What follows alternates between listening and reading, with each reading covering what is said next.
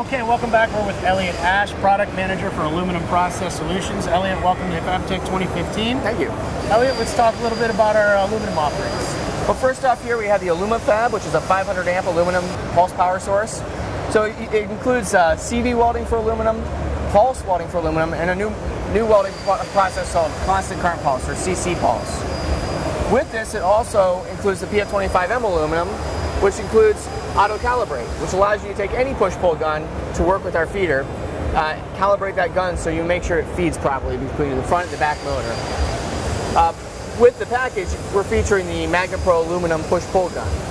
Uh, when you make a step up, the S350 aluminum features not just the PF25M aluminum, but it also features auto settings, which uh, allow you to set pre-flow, post-flow, burn back, crater, things that you would take a lot of time to do if you're changing your wire feed speed around. But now you can just make a change to your wire feed speed, make a weld, and all your settings are already done. So you don't have to worry about any of those settings. Cool, cool.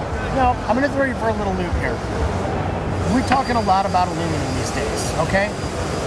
the dedication that Lincoln Electric, talk a little bit about the dedication that Lincoln Electric has to aluminum, considering we've put all these things out and, and branded them aluminum. Okay, what is the importance of aluminum? And talk about Lincoln's dedication to aluminum. Oh, absolutely. I mean, the, the importance of aluminum nowadays is you see it everywhere. You see it from trailer manufacturers, you see it to boat and ship builders.